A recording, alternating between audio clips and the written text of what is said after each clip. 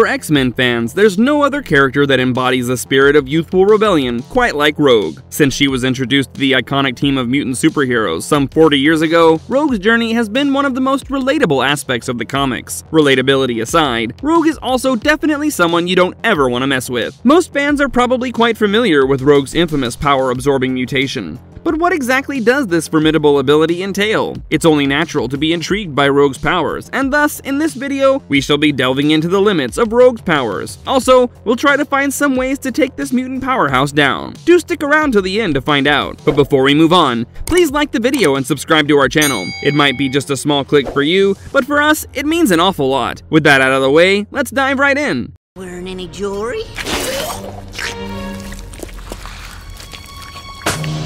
Every power and ability of Rogue. It's safe to say that Rogue has one of the most dynamic abilities among any of the X-Men. After all, in a world where everyone has superpowers, being able to steal said superpowers is quite a perk. But things have never been that easy for Anna Marie, as they're pretty terrible downsides to her skills. All throughout her journey, Rogue's relationship with her powers has been just as strained as her relationship with Gambit, and if you've read through the comics, you'll know how messy that love story was. Jokes aside, Rogue has actually always hated her powers, as they're often involuntary. Just imagine you're kissing the love of your life, when suddenly you suck in all their life energy, essentially turning your crush into a vegetable. Truly traumatizing to say the least. And we kinda get Rogue for resisting her powers for a very long time. But in order to truly gauge why Rogue's abilities bear so heavy on her mind, let's have a look at all the things her powers allow her to do.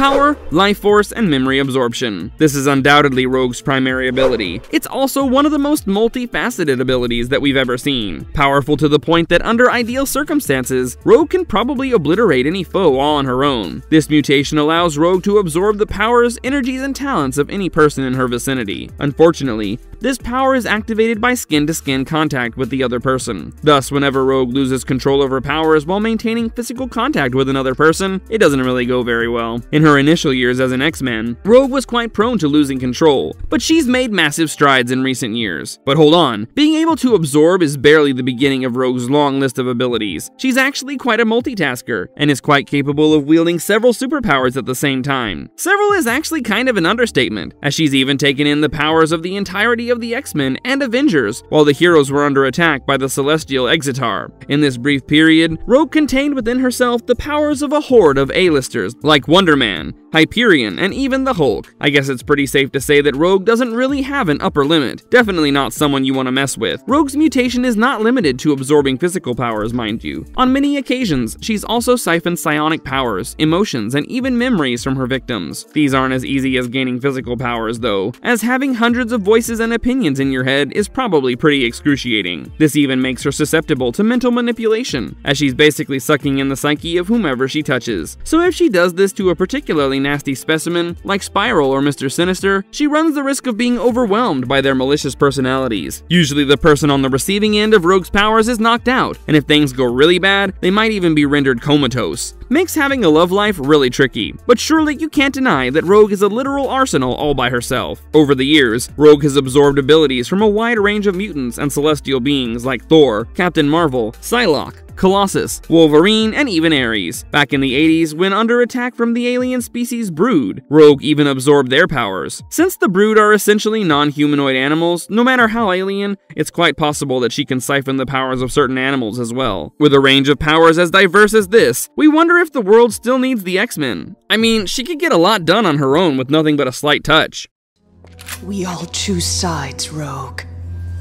Uh, Enhancements and augmentations. Living in the world of the X-Men means that you're constantly surrounded by strange geniuses and mad scientists. Chances are, sooner or later, you'll find yourself caught in some kind of shadowy experiment especially if you're a mutant. Of course, this also happened to Rogue on multiple occasions throughout her journey. We're sure this must have been very traumatizing, but it does help us to see the true limits of Rogue's powers. For instance, when infected with Strain 88 by the villain Pandemic, Rogue's touch became permanent and all-consuming. She was eventually cured of the enhancements, but this made her powers much more controllable. Another great influence on the young mutant was, of course, the foster father of the X-Men, Charles Xavier. The telepath helped Rogue get past the various barriers she'd built up in her mind, that kept her from truly controlling her powers. It was indeed a long and strenuous journey that would finally lead to Rogue gaining control over her powers, with all of it often coming at a great personal cost. In recent years, we've seen Rogue gain such extensive command over her once unruly abilities that she genuinely took in the powers of the Wonder Man permanently. Granted, the man was basically pure energy, but still, that's pretty impressive. This has allowed Rogue to gain some pretty interesting perks, like an ionic energy form, superhuman physical attributes, and even immortality to an extent.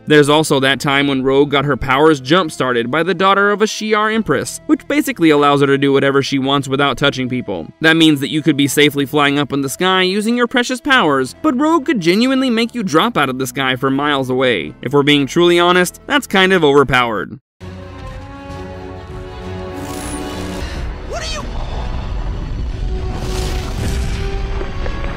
How long does Rogue retain the powers after absorbing them? Rogue seems pretty unbeatable now, doesn't she? But don't worry, everything has its flaws, including Rogue's powers. And here, the problem lies in how long the powers linger after Rogue has touched her victim. According to most Marvel writers, the powers manifest themselves in a 1 to 60 ratio. For each second of skin-to-skin -skin contact, Rogue gains about 60 seconds of absorbed power. So if she holds onto you for a minute, the powers would likely last around an hour. But beware, Rogue's powers can easily turn you into a vegetable and might even be lethal. Though the powers are temporary, repeatedly consuming someone else's psyche is actually pretty detrimental to Rogue's mental health, as she's absorbed countless memories and psyches in her time as an X-Men. Chunks of these personalities still linger in her mind. No wonder she has such a temperament. But this also provides her with a strange advantage. Since Rogue's mind contains so many diverse consciousnesses, she can't be mind controlled in the usual way, as her psyche is just too fractured. Though the memories fade away after a while, the echoes of your greatest foe residing in your head is a truly terrifying thought.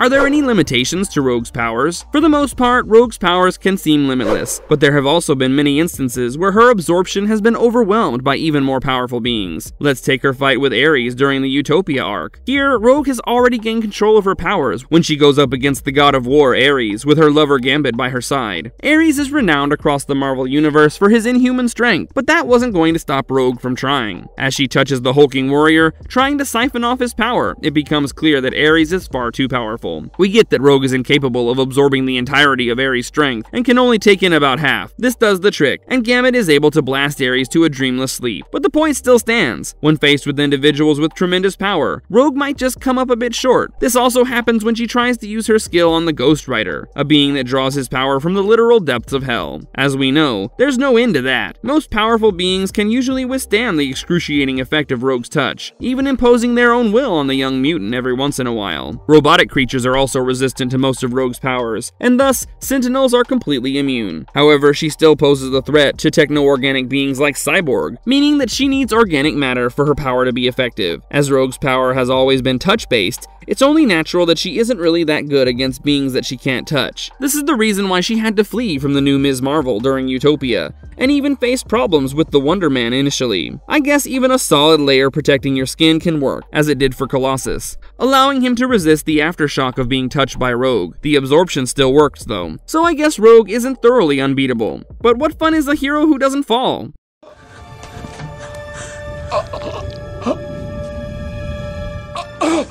Specific limitations to Rogue's incredible powers. So here's a list of things one could probably do if you find yourself in a fight with Rogue. If you're immensely powerful, like to a cosmic level, there's probably little to worry about. You can not only resist Rogue's touch, but even the pain from it is probably more of a tingle to you. Or you could use robots to hunt her down. I mean, she can't really absorb technical circuitry. Just let her try in vain as you rain lasers or missiles down on her white streaked head. There's also a chance that you're a formidable giant. In that case, just let her take some of your psyche so that you can control her later from within her mind. If you want to take this a step further, like the ferocious dire wraiths, you could just dominate her to the point where she literally morphs into one of your own. But yeah, I also have a steadfast belief that before we could pull any of this off, she would probably bash our faces in.